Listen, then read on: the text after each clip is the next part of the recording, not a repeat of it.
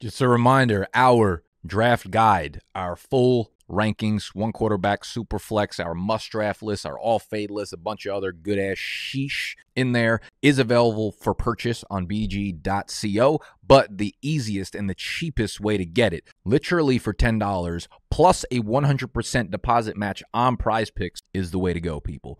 If you go to prizepicks.com or if you download their app, link in the description, and you deposit $10 or more using promo code BDGE hats in store, link down below. If you use BDGE, they're going to hit you with a 100% deposit match. So if you put down 10, you're going to have 20. If you put down 20, you're going to have 40, etc. Plus, you're getting our entire website, our draft guide, absolutely free. Will be emailed to you after deposit. Go grab it. We are here today to piggyback off of yesterday's video where we went through the first six rounds of fantasy drafts and we targeted our favorite players in every draft. Some of them had two guys, some of them had six guys. We gave you a plethora of options to beautifully sprinkle your fantasy teams with players that will help you win your championship. Today, we're doing the opposite. We're looking at the first six rounds of fantasy drafts, and I'm telling you the dudes that I'm not really going to touch. I don't like their values, they're just not targets for me for whatever reason. We'll break down every single one of them as we go through. So make sure if you're not subscribed to the channel already, you put the D in the subscribe button and you hit the thumbs up button.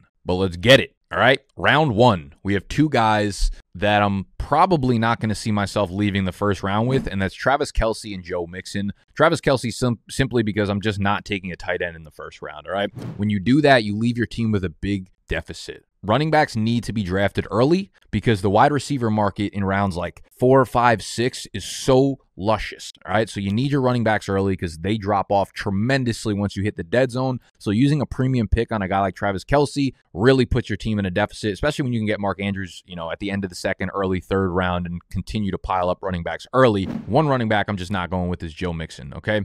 Mixon just doesn't have the upside, in my opinion, as the guys that are going around him. Like now, it's almost like Najee Harris is going around the same spot, Dalvin Cook, but more more specifically, even after him, guys like Saquon Barkley, Alvin Kamara, those are dudes I would without a doubt take over him. He's just not getting the pass catching role in Cincinnati. He will never get that. You can't depend on him to repeat 16 touchdowns again in this offense. So Mixon's just not a guy. He's safe. He's safe. You know what you're probably going to get from him. You draft him at RB10, he'll give you an RB9 or give you an RB11 finish. I think this year based on a little bit of touchdown regression, that ain't going to win you your league. And I'm looking for more upside players with my first pick in round one. Moving around to two, we have two wide receivers. Again, why I tend to lean more towards the running backs if you can't get one of the elite wide receivers in round two. Deebo and Tyreek Hill are two guys that are wildly talented, man, and two guys that I might sound like an idiot at the end of the year. I just don't think second round draft capital is worth investing in two guys like Deebo, who right now on prize picks, his line for the year, I think, is 950 receiving yards, which is a far cry from the 1400 he put up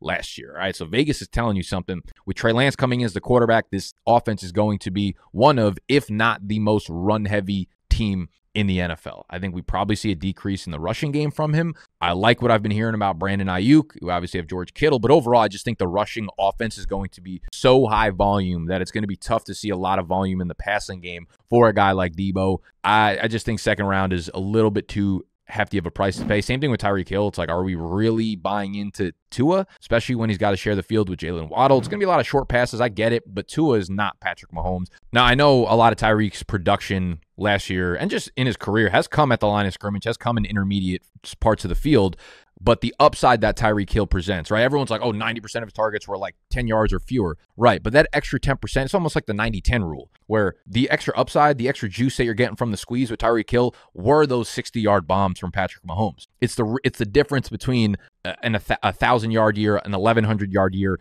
and a 1400, 1500 yard year. Like that's why you would draft the guy in the second round because you think he has that upside. I don't think he has that with Tua. He is he is splitting the field with you know with guys like Jalen Waddle and other talented players. So I just don't really see the upside based on the deep connection that I don't know if we have that there with Tua. So second round's a little bit too risky for me with an unknown quarterback behind him. Round three is it was loaded with landmines. Now we're starting to see as the summer progresses, all the dudes that we were saying that we were yelling about all summer, round four, round five, are must draft players, are starting to creep into the third round. And now I'm having a little bit of hesitancy. I'm getting whiskey dick. I'm getting whiskey click on these guys. So it's like DJ Moore, right? I liked him now that Baker came over. Solid fourth round pick. Travis Etienne, y'all know I'm super fucking high on him. Ezekiel Elliott, I thought he was in for a really big bounce back year. Now we're getting to the point where in sharper leagues, you got to draft him in the third round. And I have hesitancy because each of these guys has some red flag attached to him. Like DJ Moore just doesn't score touchdowns. That's a thing, right? It happens. People can keep talking about how, you know, he's due for touchdown regression. I think we just got exhausted with Keenan Allen with that, right? And they're similar players. I think we just got exhausted saying he's eventually due for this big touchdown explosion. Just didn't happen. Like a lot of players just don't get in the end zone for whatever reason. Maybe they're not as good operating in tight spaces and quarterbacks don't feel comfortable because they're of smaller stature in the tight spaces whatever the fucking reason may be, Baker Mayfield might throw 18 passing touchdowns this year. All right. So Moore in order to have like a big breakout year and score 10 touchdowns would have to it's the math just don't add up. I like him in the fourth round, safe player, but you start to draft him at like pick 28, pick 30 becomes a problem for me. So I, I think for the most part, in most of the leagues y'all playing, you will see like ETN drop to the fourth round, maybe to the fifth round in a less serious league. So you could probably still get him where I think you need to be drafting him if he falls to you there. But if you got to start taking dudes like ETN over like Michael Pittman or something like that, or Zeke over guys like Mike Williams and shit like that, I get a little bit more hesitancy. They were must drafts where they were, but as they start shooting up the ADP into these more premier picks, they become a problem. And if you think I sound like an idiot, y'all can prove it because our BDG 3 pass, which allows y'all to compete against us in the Big Dog Bash. It's the Giant Fantasy Football League with a grand prize of 10,000 fucking shares to our company, BDGE, is available for purchase for like one or two more days. We are closing the minting process for these passes either tomorrow or the next day. So you've got about 48 hours to cop yours, and they are available to purchase via credit card right now. All right. The minting website is linked down below. Make sure you join the BDG3 Discord channel as well. So if you have any questions about the process or what the project even is to begin with, just know that you're competing in a very large, fucking awesome fantasy football league where all of our content in season is going to be made around that league specifically. All the dudes on the BDG team are competing in it, as well as a bunch of your favorite like content creators and fantasy analysts and just guys in general. So if you want to get in on that, BDG3 you can go check out more info, bdg3.xyz, or just go cop your pass right now. Again, available via credit card purchase, which is new, a new feature that we just rolled out like 24 hours ago, mint.bdg3.xyz. Come fucking bash with us. Once you move past round three, you get into round four and five of these dead zone running backs, which is where I want ETN, which is where I want Zeke badly, because I don't think they're dead zone guys. But once you get into rounds two and three, that's not the dead zone. That's like premier capital. But round four and five is littered. Actually, it's like round yeah, round four and five is just littered with terrible running backs, terrible running back value, but amazing wide receiver value. And again, we talked about that in yesterday's video. So I gave y'all like six, seven, eight wide receivers that you should be targeting in rounds four, five, and six. Yesterday's video will be linked down below. Go check that out. And again, it's hard for me to put like ADP on these guys to know exactly where they're going in drafts. But I think for the most part, rounds four and five will be the dudes like Breece Hall, David Montgomery, Cam Akers, J.K. Dobbins. I am actually out on all four of those dudes, which I know is just leaving me naked to be exposed. If one of them hits, y'all are going to call me an idiot, which is a great fucking hit rate, by the way. If I'm fading three to four and one of them hits, like, I, will fucking take that all day. Breece Hall, he's going to be splitting time with Michael Carter, man. Way more time than you're going to be comfortable with. They also now are without Mekhi Becton. We don't know with Zach Wilson's injury. He should be back week one, maybe week two, maybe week three. This offense is just starting to deteriorate a little bit to the point where I'm not comfortable Breece Hall in the fourth round. If he takes over the backfield, I don't think it's until the second half of the season, if that. But Michael Carter is going to be a key piece of his offense as long as he's healthy. So Breece Hall get a lot of early down work. I think two minute, four minute drills might go to Michael Carter. I don't know what's going to happen on the goal line. So Hall, this is a little bit too steep of a price for me. Dave Montgomery, this is just a back. This is just a team that's awful. Khalil Herbert is really, really awesome. I think he's going to start taking a bigger role in this backfield. New coaching staff have no allegiance to David Montgomery, so I am very much out on David Montgomery in behind one of the league's worst offensive lines. Cam Akers coming back from the Achilles. I still don't know if we're ever going to see him at 100%, but everything I follow from Rams camp is telling us that this is going to be a split backfield. It is no longer a featured workhorse role for Cam Akers that we had wanted him to have coming into the league. Had he not torn his Achilles last year, the momentum is huge. The momentum was huge. He would have been the workhorse, but now it's going to be Darrell Henderson and it's going to be Cam Akers. They're going to split work, and I just don't really want a running back by committee guy in the fourth round. So I'm out on Cam Akers as where his current price stands.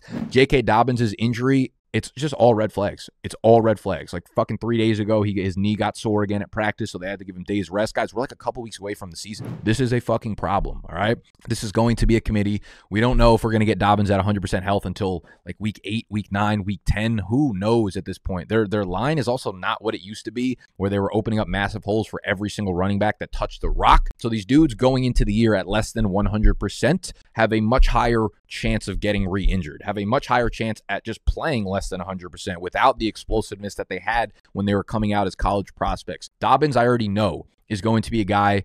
Dobbins and Breece Hall are going to be guys that I want all of next year that I don't want this year. Okay. That's how I'm looking at it right now. If these guys start to fall to the fifth, sixth, seventh round, yeah, we will reconsider. But fourth round prices are something I'm not considering with any of these running backs. Give me all the wide receivers in that area. Give me all the Pittman. Give me all the Mike Williams. Give me all the Courtland Sutton there 100% of the time. When we move down to round six, y'all already know this at this point if you've been listening to anything I've been saying. But Josh Jacobs, of course, Antonio Gibson need to be both off your boards anywhere within the first six rounds. TJ Hockenson is another guy that continues to be like the next tight end picked behind the George Kittle Dalton Schultz little tandem in like the fourth, fifth round. TJ Hockenson is just a guy that I don't know why you would grab Hockenson when you can wait around two rounds to grab Dallas Goedert to grab Dawson Knox in round nine. Like Hockenson doesn't give you any sort of advantage positionally over those dudes. It's had a few years to kind of break out. We haven't really seen it. And now the Detroit Lions are stacking their offense with more and more passing weapons. So I don't see how he becomes an upside play whatsoever. Maybe he's a little bit safe, but he's also like very volatile week to week. So I would rather a lot of the guys going behind him ahead of him just straight up, let alone the fact that he's the first one picked off this board. So that'll wrap up the first six rounds of my least favorite targets, the guys that I probably won't leave most of my drafts with, if at all. Um, and that's a pretty hefty list here. I just want to reiterate again, like I'm not fading DJ Moore, Zeke, or ETN whatsoever. But if they start going in the mid third round, that's the price that's a little bit too high for me to pay. Fourth round, fifth round, love them. They are fucking absolute targets for me. I just think we need to keep our legs on a swivel. I think we need to keep our head fucking screwed on tight. I think we need to tuck our shirts in before we hit the drafts. I think y'all need to hit prize picks and use that promo code BDGE and ride with me for the rest of the preseason because we are pouring in the revenue. We'll do a quick recap of the guys I named. We had Kelce, we have Mixon, we have Deebo, we have Tyreek Hill, we have Breece Hall, David Montgomery, Cam Akers, J.K. Dobbins, T.J. Hockenson, Josh Jacobs, Antonio Gibson. As you can see, it's a fat list of later round running backs. This is why you want to get them early, which is why you want to get them often, which is why you want to draft against me if you like these guys. And the only way to do so is by getting a BDG3 pass now available to purchase via credit card. I love you. Make sure you subscribe to the channel. Make sure you hit the thumbs up button, and I shall see y'all tomorrow.